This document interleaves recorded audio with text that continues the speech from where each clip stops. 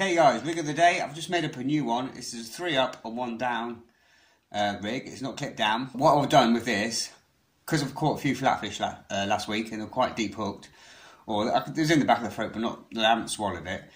Uh, and rather putting the um, hook, trying to get it back out of the mouth, I put it on a quick change system like you use for carp fishing.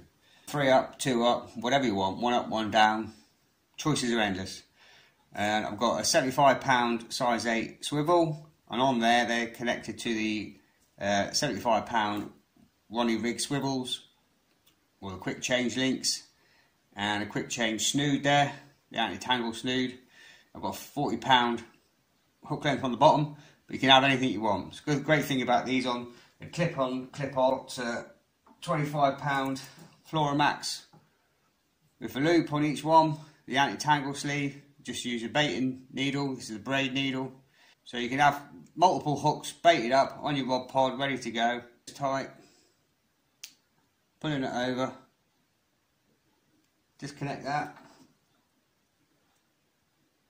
Into the Ronnie swivel or the quick link. Click it on. Pull that anti-tangle sleeve up. You've got a nice boom. These are five inches. And you're ready to go.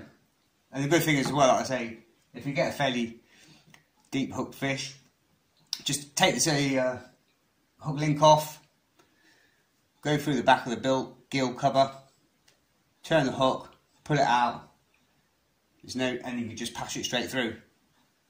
Pre-baited, snood, clip back on, you're ready to go. Combinations are endless. Rig of the day, give it a go.